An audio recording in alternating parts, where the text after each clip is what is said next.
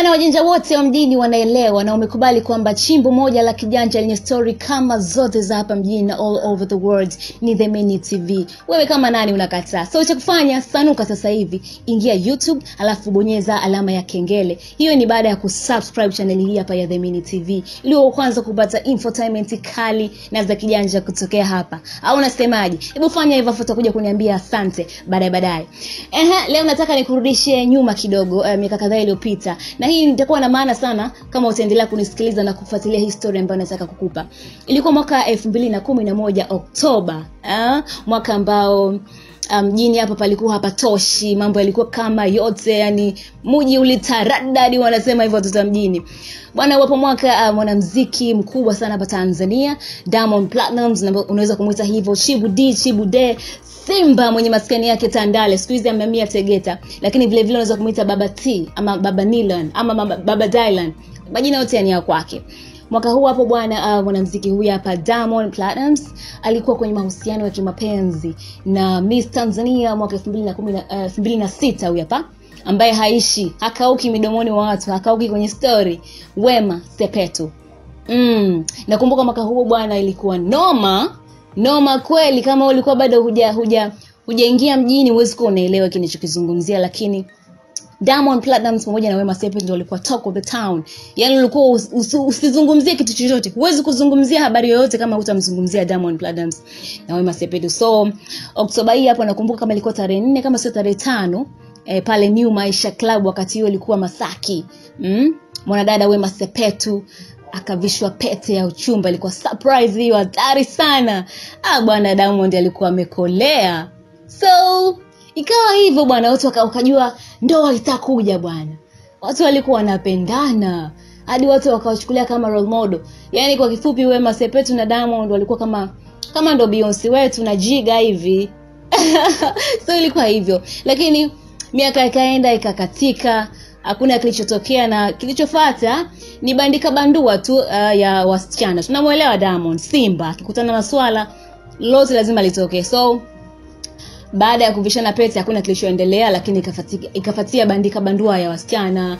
E, akaja mheshimiwa akaja VJ Pain ambaye alikuwa ni swahiba wake kabisa na na Wema Sepetu. Lakini naye alipopita kwa Simba Simba akasema we swala hebu kuja hapa unaleta nini? Unaleta maneno gani hiyo? So ikawa hivyo Simba akapita pale. Lakini baadaye baadaye akacheza cheza hapo. Sijui ikawaje sijui alikuwa na safari ya kwenda wapi mara pap akakutana na zari. Zari huyo akamtuliza yule simba. Simba akatulia kama vile hajakutana na swala bwana. Tukasema kweli sasa damon sasa kakamatika. Damon kadat au kwa kukutana na mtu mzima kidogo kaelewa somo. Basi ikawa heri tukashukuru na siku zikasonga kidogo eh, kile kitu kikatokea mlima wa huku na huku wakakutana ikazaliwa tumbo. Mara pap akazaliwa tifa. Eh, furaha iliyoje maisha yakabadilika akabadilika kutoka nasib akawa baba tifa. Bwana bwana. Mnaelewa eh? mnaelewa vile ilivyokuwa? Ilikuwa noma sana lakini watu walikuwa walikuwa hawaamini kama kama nasib amebadilika. Umeelewa eh? watu watu wengi wakajua kwamba okay sasa nasib amekuwa.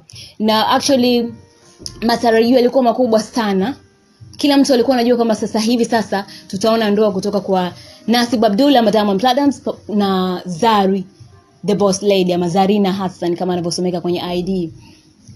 Lakini baadaye vikaenda vikaenda akazaliwa Nilan kama sikosei, yes. Akazaliwa Nilan lakini baada ya Nilan kuzaliwa havijakaa kama um, hatujakaa sana. Mala nasikia jini mkatakamba naye akawa ameingia. Jini mkatakamba ni nani? Mimi sitaki kumtaja lakini mambo yalitokea hapa katikati. Um, Nasib akawa ameachana na Zari the boss lady. uh, mambo hayakuwa mazuri kwa sababu mwisho wa siku hapa katikati pia ikawa ni like wanatupiana maneno, wanavuana nguo kwenye medias na vitu kama hizo, lakini sasa hivi ikaonekana kwamba kila mmoja amesha move on. Eh, kila mtu ana maisha yake. Diamond planners za machibu sasa hivi kamoyo kake amekadondoshia ameka kule 254 hiyo ni Kenya, lakini Zari the boss lady yuko na King Bye ah King Bye. King Bye ambaye mpaka sasa hivi hatujamuona sura kusema za ukweli, maana kila kila akipostiwa picha anazibwa sura, kwa hatujajua ni nani. lakini tutafanyiwa surprise kwa sababu um, tulionyeshwa kama kuna pete hivi ambayo tayari Zarina Hassan ameshavishwa na King Bai. Kwa hiyo tunategemea tuna, tuna ndoa muda na siku yoyote, sijui itakuwa surprise, sijui atatuambia, si tunasubiri. Okay, turudi huku sasa kwenye familia yetu ile ambayo haishi drama, haishi story.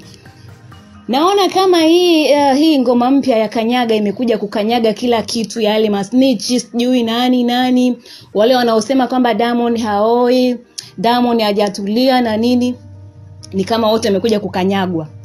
Ehe, Mwijaku, naanza na wewe, sema nipo mwalimu. Mwijaku alisema kwamba mm, Diamond hawezi akaoa hivi karibuni eh? Diamond labda ni wakuoa kuanzia mwaka elfu mbili na ishirini na ngapi huko. Diamond bado mdogo sana, bado damu inachemka na Tanasha anamchezea tu na nini na nini. Kiko wapi? Kiko wapi Mwijaku wewe eh? Haya sasa, tarehe saba ya mwezi wa saba e, mwaka huu hapa wa elfu mbili na kumi na tisa historia nyingine inaenda kuandikwa. Kwanza, kama ulikuwa hujui, ni kusanue siku ya tarehe saba ya mwezi wa saba eh, ni siku ambayo ni tofauti sana kwake Diamond Platnumz. Amekiri hivyo kwa sababu yeye bila kujua eh, amejikuta kwamba mama yake mzazi pamoja na mpenzi wake Tanasha watasherekea au wanasherekea siku hiyo ya kuzaliwa kwao, yaani wamejikuta kwamba mama yake na mpenzi wake wote wanasherekea siku moja ya kuzaliwa though kila mtu ana mwaka, wake tofauti au, au sio eh? Kwa ni hivyo kwamba tarehe saba mwezi wa saba mama Dangote pamoja na mkwewe sasa huyo Tanasha watakuwa wanasherehekea siku yao ya kuzaliwa. Actually itakuwaje sitaki kujua, lakini it's gonna be something something amazing, na kila mtu anatarajia kuona vitu vingi, lakini kikubwa zaidi ama nyepesi nyepesi zinasema kwamba huenda eh, huenda huenda lakini mi sijui ila rumor has it and rumor has something wanasemaga wazungu.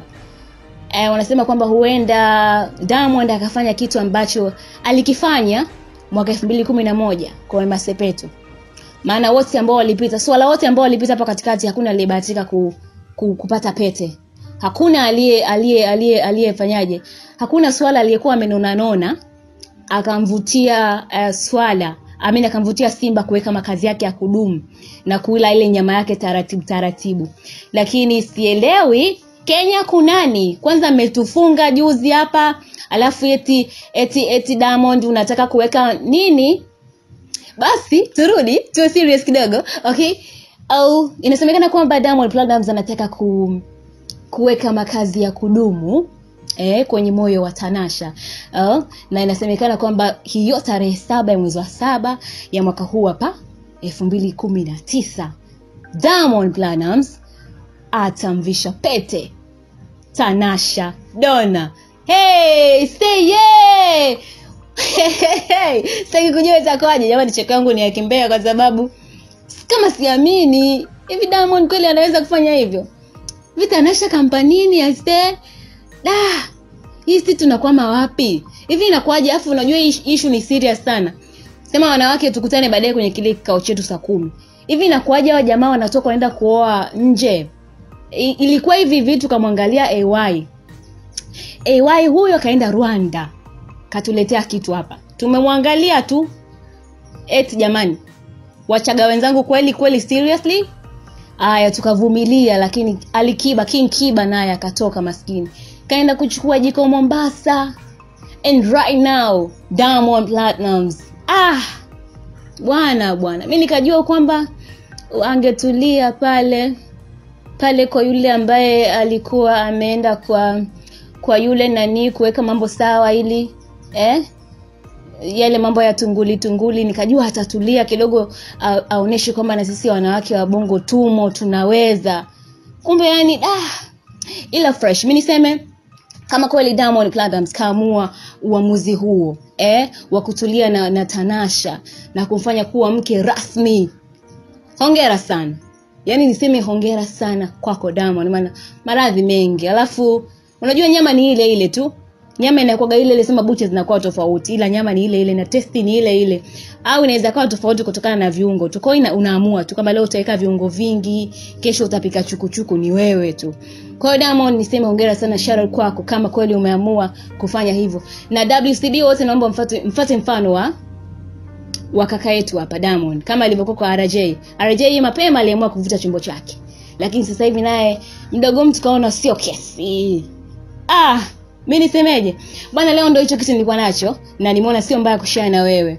So hebu tuendelee kukutana kule kwenye chimbo zetu. Facebook instagram pamoja na twitter. Facebook na twitter ni the minute tv lakini instagram the minute afu unaweka nukta unamalizia na tv until next time nakupenda sana